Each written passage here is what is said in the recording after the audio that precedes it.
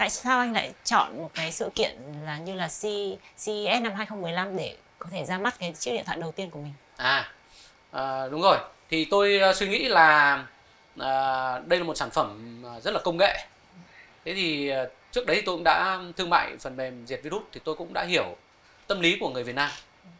Có một tâm lý như này này là người Việt Nam mình thì hay bởi vì nó nó là thói quen nó hình thành. Mình là một nước nghèo cho nên ấy là mọi thứ là cứ hướng tới là nó phải rẻ. Đấy và khi một công ty Việt Nam nào đó làm một sản phẩm thì thường mọi người cứ hướng tới là ông phải rẻ nhá phải rẻ nhá phải rẻ nhá. Đấy à, nó ăn vào trong ăn sâu vào suy nghĩ của mọi người rồi. Và nếu mà làm đắt thì bảo ông này hút máu ông này uh, kiếm tiền. Nhưng các bạn như vậy là không hiểu về kinh doanh không hiểu về về về uh, kinh doanh. Đây là kinh doanh để làm ra cổ cải cho xã hội nhá chứ không phải kinh doanh để để kiếm tiền nữa nhá. Vâng. đấy thế thì uh, kinh doanh như tôi nói hay là doanh nghiệp ấy nó là một phương thức để mình uh, làm việc tốt hơn thôi. Thế thì có những người có nhu cầu mua giá sản phẩm giá rẻ có những người mua sản phẩm giá tầm trung có những người có nhu cầu mua sản phẩm cao cấp thì sau nó thì sau nó mới phát triển. Cho nên bây giờ tất cả mọi thứ chỉ giá rẻ thì ai bay bổng trong ờ, các sáng tạo để tạo ra những thứ mà thậm chí chỉ có vài người dùng thôi. Vài người được uh, sử dụng thôi phải phải trả rất nhiều tiền nhưng là về sau có những người đi dùng ấy thì nó mới trở nên phổ biến để cho những người khác không có nhiều tiền cũng vẫn dùng được những thứ đó. Một chiếc điện thoại như thế này ngày xưa thì nó phải mấy chục triệu. Đấy nhưng bây giờ nó phổ biến rồi nó, nó rẻ hơn rất là nhiều. Thì thì xã hội nó phát triển theo quy luật như vậy. Chứ không phải là cứ lúc nào cũng rẻ là tốt rẻ thì nó hạn chế rất là nhiều sự sáng tạo bởi vì ừ, phải cắt giảm tất cả mọi thứ. Đấy thế thì à, tôi biết tâm lý của mọi người là bị như vậy. Và nếu mình cứ chiều theo suy nghĩ như vậy ấy, thì ngành công nghệ của Việt Nam cũng không bao giờ phát triển được cả. Bởi vì mình sẽ bị mắc vào bẫy của giá rẻ. Tôi làm nhá đến nay tôi bỏ ra hơn một nghìn tỷ hơn một nghìn tỷ nhá tiền mặt. Dạ. đấy chưa hề thu được về chưa chưa hề thu về đồng nào. À, nhưng là tôi vẫn không phải là tôi làm giá rẻ ngay. Dạ.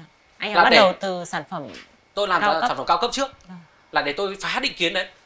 Bởi vì như này này khi nó thói quen như vậy nhá nhu cầu của mọi người là có ra đúng rất là chính đáng là nhu cầu phần lớn của người dân Việt Nam Việt Nam là nước nghèo.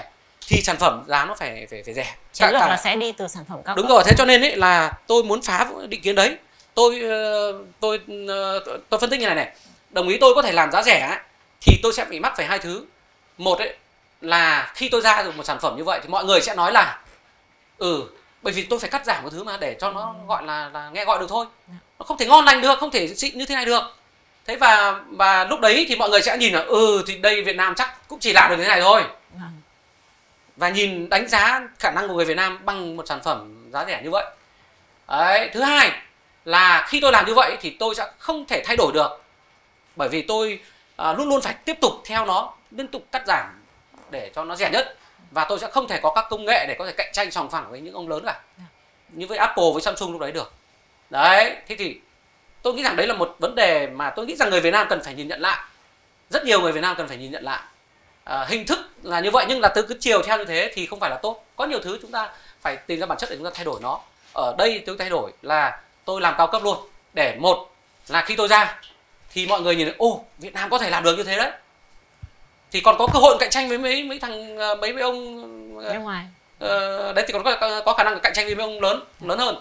Đấy và thứ hai nữa là sau đó tôi có thể làm vẫn có thể làm được sản phẩm giá rẻ dạ. khi tôi làm được sản phẩm cao cấp thì tôi chỉ việc là cắt giảm rồi các thứ tôi sẽ có phiên bản giá rẻ đó và đến, phải là đến năm nay do... thì các bạn nhìn thấy rồi đó vâng, là, là chúng tôi đã có mới đúng không là chúng tôi đã có và ừ, trời ơi bạn tìm hiểu sẽ thấy là 4 triệu rưỡi đã có được sản phẩm rất là tốt rồi đó uh, sản phẩm uh, mới đây mà anh ra mắt ấy thì tôi có nhìn thấy là anh trực tiếp livestream để bán hàng trên ừ. Facebook. Ừ.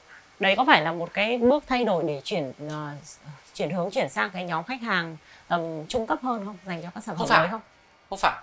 Tức là như này, nếu bạn để ý thì cũng là câu hỏi của bạn lúc trước uh, là tại sao tôi lại ra mắt ở CES? Dạ. Vì sản phẩm công nghệ như vậy tôi định vị là người Việt Nam phải là chứng minh được khẳng định được người Việt Nam có thể làm được như bất kỳ công ty lớn nhất ở trên thế giới nào làm ra được sản phẩm tốt xuất hiện ở những hội trợ công nghệ lớn nhất trên thế giới. CS là hội trợ công nghệ lớn nhất trên thế giới để có thể cạnh tranh sòng phẳng với các sản phẩm tốt nhất trên thế giới. Và vì vậy thì nó cũng phải xuất hiện tương xứng ở những nơi uh, nó phải xuất hiện tương xứng ở những nơi mà um, các giới công nghệ tốt nhất trên thế giới họ họ đến đó đó là CS